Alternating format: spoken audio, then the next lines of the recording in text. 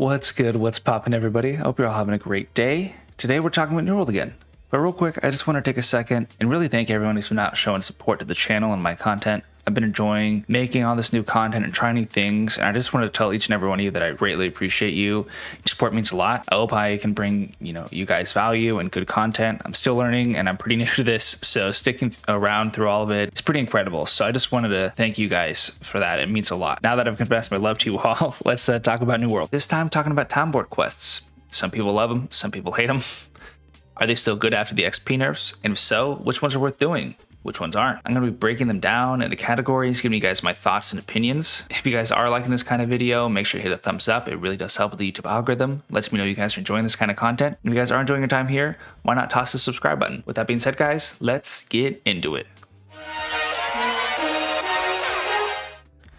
All right, so like I said, we're going to be talking about town board quests today.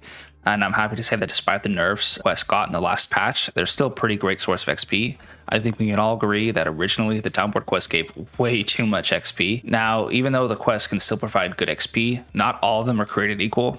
There are some major ones that you should avoid at all costs, and I'm talking like swerve, bitch, but that being said, there are still some great ones. I would recommend that the bad ones you hear in this video, I would try to filter them out of your town board quests, meaning, you know, accept them and then give up on them and try to get the best bang for your buck ones. That being said, let's get right into it. So I think the first category is going to be the weapon and armor smithing missions. I would take every single one of these every single time, every time. They usually require a very small amount of materials like, you know, iron, silver, or whatever, and give great XP. They give one of, if not the best return on investments or ROI, and invest being your time and your XP. Like, I can't stress this enough. Every one I would get, I would grab it like it's the last roll on Thanksgiving dinner, y'all. Like it's they're the best to do, one of if not the best, and I would grab them every single time. The next category I wanted to bring up were the fetch missions you know, an example like going over here and collecting this from a particular place. Don't fall for these. more times than not, they're a trap. They take so much more time to complete compared to others, and the XP is not worth the time investment. I would only recommend taking these on really early on a place that you're going to already have to be at. So if you're doing a main story quest or something like that, and it happens to be in that area, maybe I would take it, but 99% of the time I would avoid these unless you're a person that enjoys walking, in which case I want to talk to you there's a problem there. Um, but yeah, overall, fetch missions probably not the best source to go into it. Moving right along, uh, the second category is going to be animal and like animal retrieval missions. You know, like killing turkeys or collecting feathers from turkeys, killing deer and boar, etc. These generally also should be avoided. They typically don't give enough XP for the time investment. Remember, in the world is a huge time sink, so ROI, return on investment, is pretty important, especially early on. The only scenarios I would take these kind of missions is if I'm really, really shit out of luck and my, you know, my town board quests are just really, really dry and I'm not getting anything. And only because they can be completed globally, uh, meaning, you know, if I get them in, say, Windsward, I could go up to Everfall or somewhere else and I could still get experience or get tracked on for completing the mission by killing turkeys or something. They're global, you can kill them anytime. But even then, you have to go back to your town to turn in the quest. So again, it's another example of terrible ROI. Now, the last thing I wanted to say before we moved on is when it comes to these kind of missions, and I mean no means, like none at all, should you ever, ever, ever take a motherfucking sheep mission. I think we can all agree that sheep missions are terrible. You can spend an hour trying to find a sheep and you can't even find one. The mission requires you to find like five and you can't even find one. I would never ever take one of these. Uh, if you do, you probably hate yourself. Like I'm saying right now that if I had the option between setting my PC on fire, right, shaving my head, and I don't know, losing a pinky toe or taking a sheep mission, I would be a PC-less, bald, pinky toe-less man. And I'd be okay with that because I didn't have to find a fucking sheep. I hate sheep. Stay with them at all costs. They are very bad. I know. I'm sorry I had to do it. Anyway, moving right along, end of the rant. Uh, third category is going to be fishing quests. And I'm going to be honest, you know, I love fishing in most games and New World is no exception. It's calming. It's nice, though I, it's a weird, you know, interaction when you're kind of like in the water, not swimming and your head submerged, but you can breathe and fish. Another topic for another video. But the fishing missions are pretty, pretty atrocious in the game. They require you to get like 20 salmon oil and it takes you like 20 minutes to finally catch one salmon then you're to salvage that salmon and you're only to get two to four oil when you need 20. Again, it sucks. I love the fish. Um, And I really hope they boost the XP or reduce the amount you required for the missions. But right now, I would really avoid them. Uh, they're probably one of the worst ROIs after Sheep quests, of course. The only redeeming factor is that excess bait you can get from just doing other things and you can turn those in for a little bit of XP. But overall, fishing missions sadly just aren't the biz.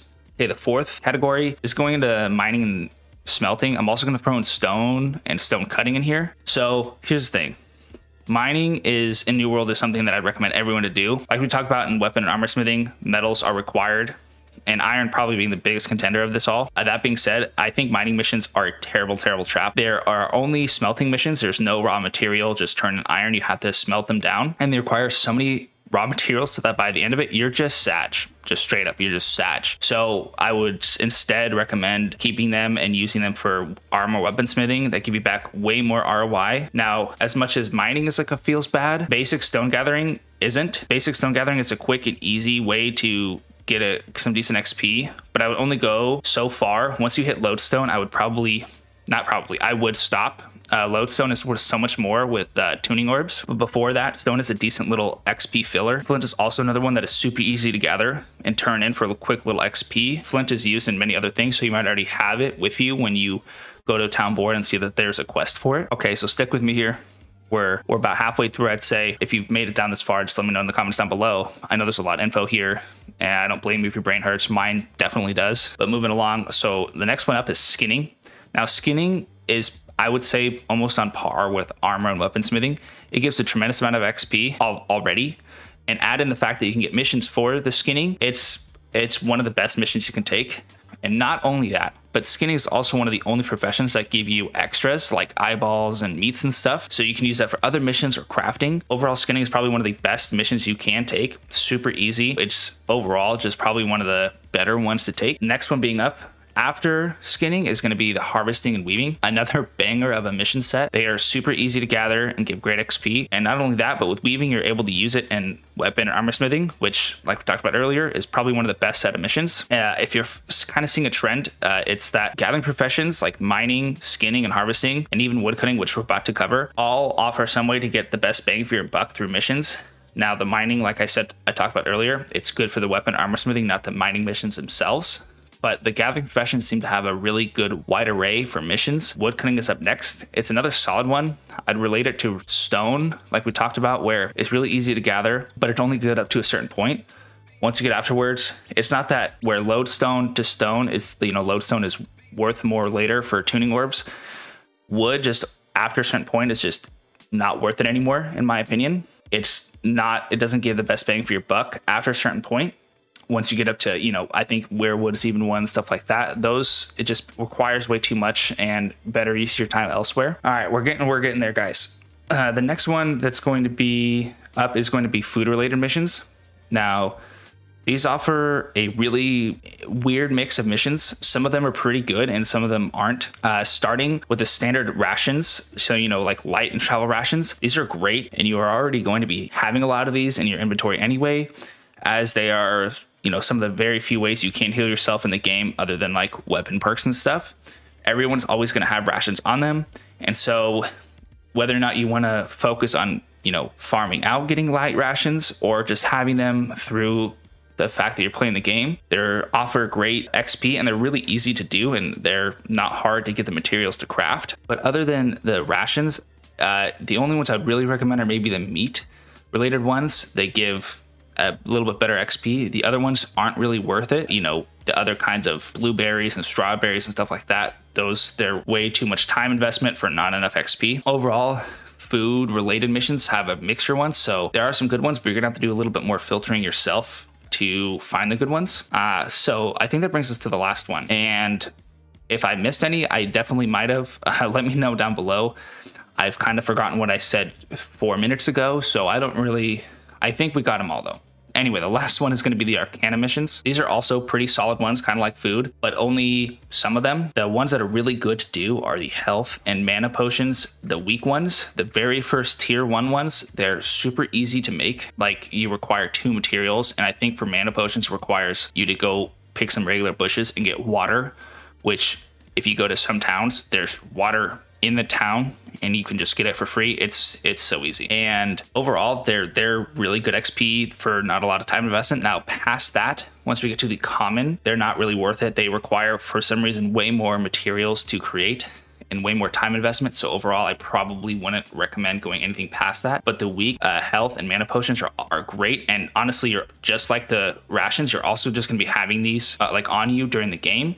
All right, I think that's it. I think we've wrapped them all up. I think that's going to do it. Um, if you're still here, thank you so much for listening and hopefully you found some of this insightful and useful. Let me know down below uh, what missions you guys are going to be trying out when the game launches. Let me know if you disagree with anything that I've said. Uh, if you did enjoy this, make sure to hit that thumbs up. It really does help out with the YouTube algorithm and lets me know that you enjoy this kind of content. If you're not already subscribed, hit that subscribe button. I'll be covering much more New World as it comes out. This game I'm super hyped on and it's kind of the only thing in my eyes right now. But I do plan on making other content for other games too. And if you guys have any games that you want me to cover or make content on, just let me know down below. With that being said, guys, I wanted to give another huge thank you to everyone. The support has been great, and I appreciate you guys all. Thank you so much. I, from the bottom of my heart, I really do appreciate it. I hope you guys all have a great rest of your day. Much love, and until next time, take it easy.